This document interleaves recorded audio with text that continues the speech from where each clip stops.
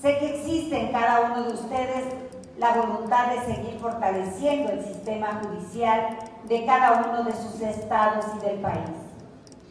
Pues a todos nos une un objetivo común, que es el de terminar con la violencia, la corrupción y la impunidad.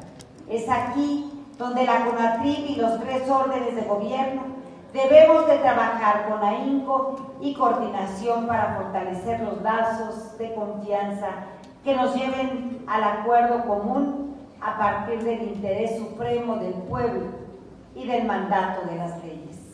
En Tlaxcala priorizamos ante todo las libertades ciudadanas, así como el diálogo y el intercambio de experiencias como pilares fundamentales para la transformación de una entidad más justa, más próspera y pacífica.